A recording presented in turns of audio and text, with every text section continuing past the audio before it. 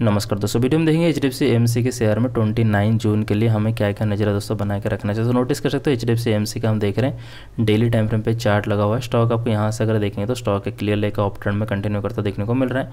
और साथ साथ ये भी नोटिस कर सकते हैं स्टॉक क्लियरली अपना टेलेंट को सपोर्ट लेकर ऊपर बढ़ता हुआ नज़र आ रहा है। तो अभी कंडीशन के लिए, यानी कि आज की ट्रेडिंग से आपको ढाई परसेंट की तेज़ी दिखा रहा है। और अभी के लिए आपको रेजिस्टेंस लाइन दोस्तों टू वन टू एट का नज़र आ रहा है। जैसे इससे रेजिस्टेंस का भी ब्रेकआउट हो जाएगा तो फिर नेक्स्ट रेजिस्टेंस लाइन दोस्तों आपको देखने को मिल जाएगा यहाँ पे two three one two point three zero का सपोर्ट लाइन दोस्तों आपको देखने को मिल रहा है। यहाँ पे रहेगा one eight nine seven point three five का रहेगा सपोर्ट लाइन अब दोस्तों एच डी एफ़ के शेयर में नेक्स्ट ट्रेडिंग सेशन में हमें कौन से कौन से लेवल्स पर ध्यान रखने की आवश्यकता रहेगी?